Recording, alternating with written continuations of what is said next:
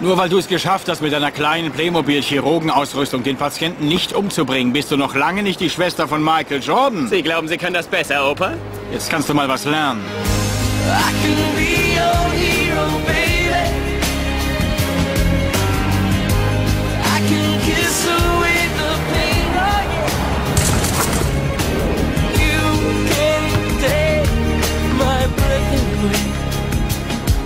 Na, wie gefällt dir das? Geht dir das schön rein? Uh. Oh nein, mein Rücken. Alles in Ordnung? Ich bitte Sie, ich posiere nur, damit Ihr Freund mich für seine Leute, neben denen ich mich so fühle wie ein kleines Mädchenalbum fotografieren kann. Ah! Du willst mir ernsthaft erzählen, deine Mutter hat heute Morgen Pancakes gemacht und dir war nicht klar, dass heute Pancake-Tag in der Cafeteria ist? Ach, hör doch auf.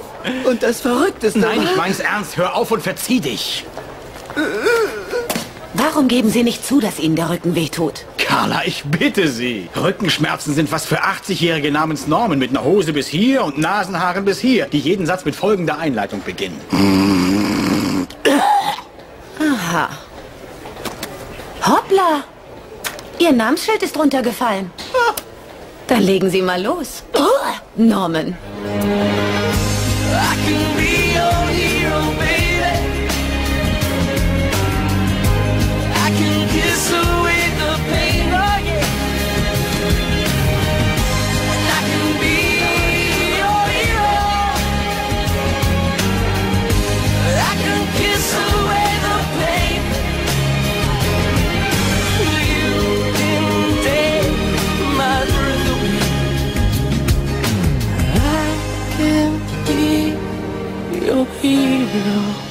Sehr beeindruckend.